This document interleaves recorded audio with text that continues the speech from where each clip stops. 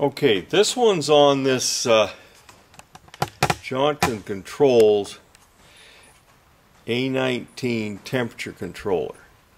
Now, A419, excuse me. There's a bunch of controls that are similar to this, but different manufacturers. This is the one I had laying around, so this is the one I'm going to show. Uh, and a lot of people have trouble with this thing, trying to figure out how it works and you know what to do to make it do what you want. And I'm just going to do a little one on this, and maybe I can clear up a little bit of the uh, confusion. Okay, these things can be set to open on a rise in temperature, that's a heating application, or they can be set to open on a drop in temperature, that's a cooling application.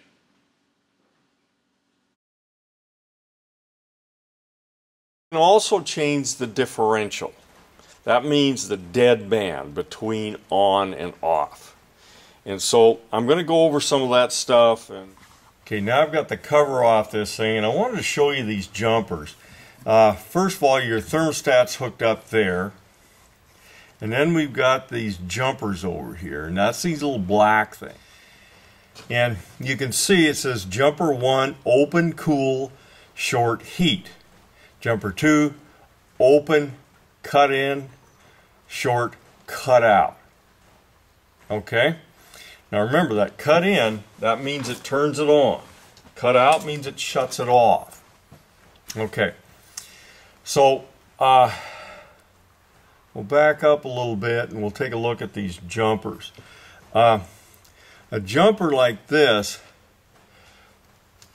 that's put in that position is shorted or is uh, in position, so to speak. I guess it is, is shorted. But now you see those two, two terminals there.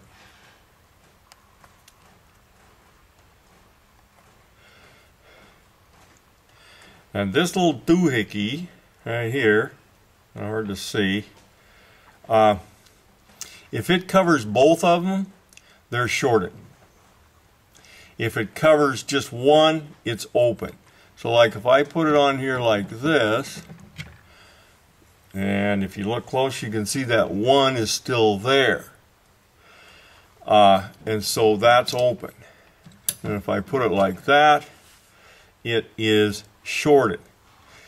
So let's say I wanted it to uh, jumper one, and that's the top one. It's a little hard to see there. Uh, but jumper one is on top and jumper two is on the bottom. So, if I wanted to set this up for cooling, I would take the top jumper and set it to open. Okay? Now this is going to operate in the cooling mode. Now jumper 2, if it's open, then the temperature uh, when this actuates actually is the cut in temperature. That's when it starts. Okay, the, the difference between cut in and cut out is going to be the differential. That's the dead zone. So let's say, uh, okay, uh, we want to set this for, well, the way it's set it's shorted. So the cut out temperature is going to be uh, the temperature that's read on the temperature probe. Okay, now let's go through this thing and see if we can set this at a set point. Now if I hit menu, it says set point, set point, okay? and I hit it once more, it's set for 65 degrees. Okay? So let's set it up so that it's a little higher than that. Let's set it to about 80. Okay, now we're going to set differential. Now the differential on this thing is 2. That means there's 2 degrees between cut in and cut out. So when this thing reaches 82, actually 83 is when it comes on, it's going to cut in. It's going to cut out at 80 because I set, originally I set the cut out uh, on the jumpers.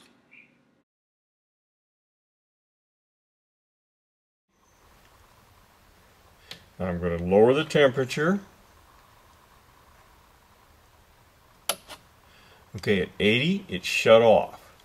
Now, I've got a 2 degree differential on this thing, so 82 going to come back on. Okay, watch it through again. 80 it shut off, that's cut out. And then as it warms up again,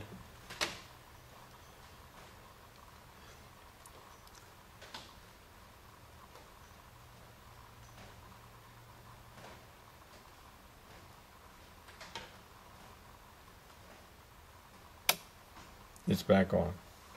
Okay. Okay, you notice I'm on differential. And it's two degrees. Let's set it up to three, set it to four. Okay, now we're going to warm this probe up.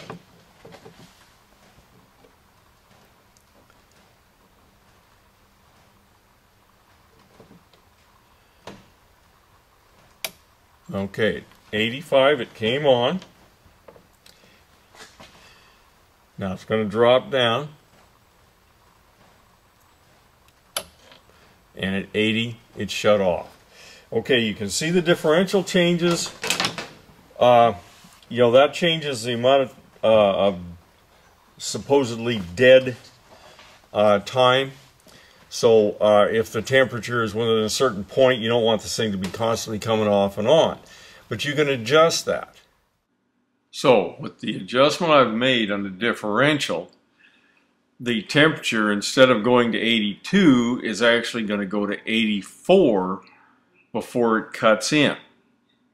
And then it'll cut out at 80 as I had set it. If I had set the jumper for cut in, then I would have had uh, 80 degrees that would cut in and it would cut out at 75. So the difference between these two is if I set it in cut out, that means the temperature has to rise above the set point. And if I cut set the cut in, set it to cut in, then it has to go below the set point.